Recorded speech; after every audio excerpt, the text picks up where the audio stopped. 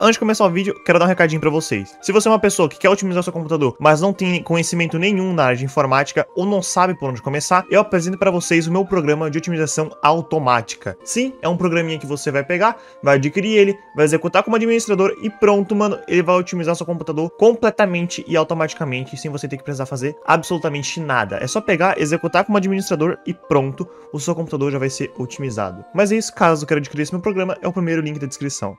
Tu lembra da tua ex? Que pena, menor. Sabe onde deve estar tua ex agora? Mamando. Naquela noite eu acordei e não sabia onde estava.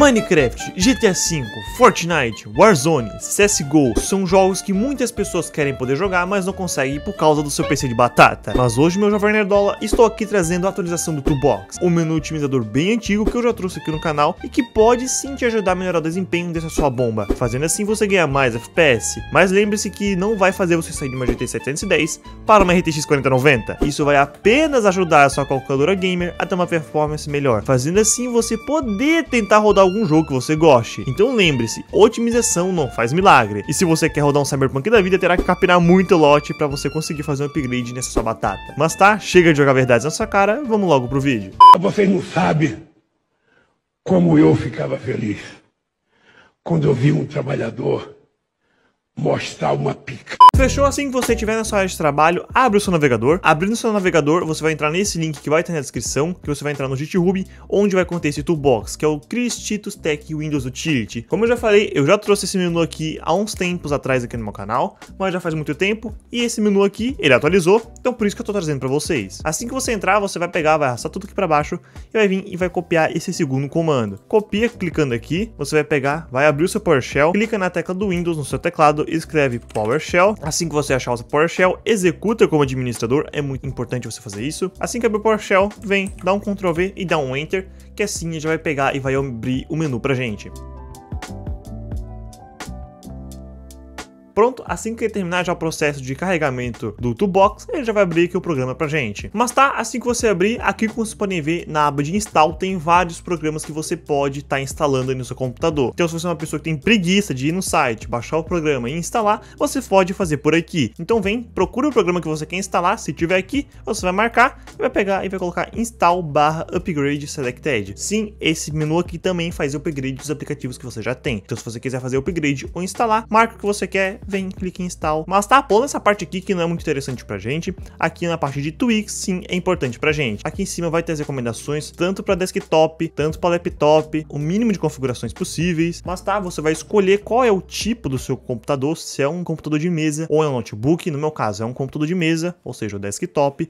Vou estar tá marcando isso aqui, mas como vocês podem ver, ao você clicar tanto desktop quanto laptop, tem algumas opções que vão estar tá desmarcadas. Então, as opções que eu recomendo você marcar junto com essas daqui que ele já marcou para você é em criar um ponto de restauração, isso aqui é muito importante, você marca aqui para criar, marca também a caixinha finalizar a tarefa com apenas um clique, também marque para deletar arquivos temporários, executar a limpeza de disco e desabilitar o terido. A única coisa que vai ter de diferente é que se você tiver desktop, você desabilita a hibernação, mas se você tiver notebook, você pega e desmarca essa caixinha aqui, beleza? Para você não estar tá desabilitando a hibernação. Feito isso, mano, simples, hein? Clique em Run Tweaks e pronto, aqui ele já vai começar a carregar os tweaks e vai estar tá mostrando para vocês as modificações que ele vai estar tá fazendo. E eu só não vou estar tá fazendo aqui no meu, porque o meu já tá do jeito que eu quero, eu não quero estar tá executando mais nada, mas aí pode executar sem medo, porque como eu já disse, eu já trouxe aqui no meu canal, isso aqui não tem problema nenhum com vírus. Se o teu antivírus apitar, isso é normal, porque como é um programa que não tem licença oficial da Microsoft, obviamente vai apitar como vírus.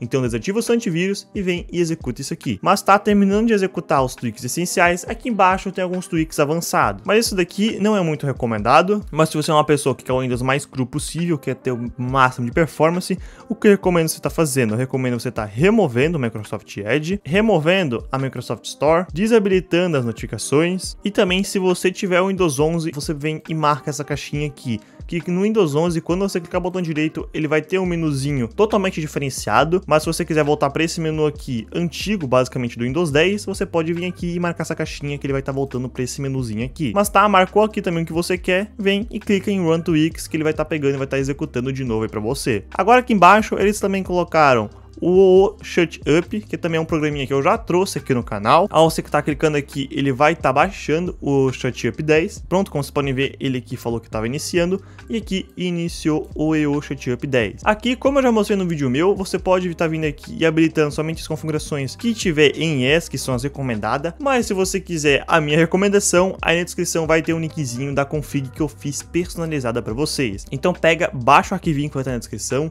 vem em File, Import Settings, vai onde você salvou minha configuração, pega, clica na minha configuração e clica em abrir. E pronto, assim que você abrir, ele já vai pegar e vai estar tá habilitando automaticamente as opções que eu deixei aí marcadas para vocês só pegarem e importar. Então terminando isso aqui, pode estar tá fechando também. Aqui ele vai perguntar se você quer reiniciar seu computador, mas se você não reinicia agora. Aqui em preferência de customizações, se vocês quiserem pode estar tá deixando igual o meu, que eu recomendo deixar assim e já tá bom. E aqui em planos de performance, ele vai estar importando o plano de energia Ultimate Performance. Vem aqui, Activate Ultimate Performance Deployer Plan, vai no seu menu iniciar, escreve painel de controle, vem sistema de segurança, opções de energia, mostrar planos adicionais, e aqui mostrar planos adicionais vai estar aqui o desempenho máximo que é Ultra Performance. O nome vai variar de acordo se o teu Windows está em inglês ou não. Então vem selecionando esse plano de energia, pode estar fechando. Aqui se você quiser você pode também estar removendo esse plano de energia. Agora vindo aqui na parte de config, aqui tem algumas coisas que você também pode estar mexendo esse features aqui é só se você precisa de alguma coisa, como o Net Framework, o Hyper-V e etc. Só que isso aqui não é importante para o nosso vídeo. E aqui em Updates, tem mais a ver com a parte do Windows Update, então se você quiser uma segurança recomendada, você vem e clica aqui. Se você quiser deixar a configuração Default, que é a Default que já vem no Windows, você marca essa daqui. E se você quiser desabilitar todas as atualizações, você clica aqui. E como eu já falei nos meus vídeos, desabilitar o Windows Update pode te trazer mais performance e também como o teu Windows não vai atualizar, não vai reverter as coisas que você fez, mas mas você vai perder atualizações de segurança e também não vai conseguir utilizar a Microsoft Store. Então isso aqui é muito pessoal. Se você quiser mais desempenho, você pega e desmarca tudo.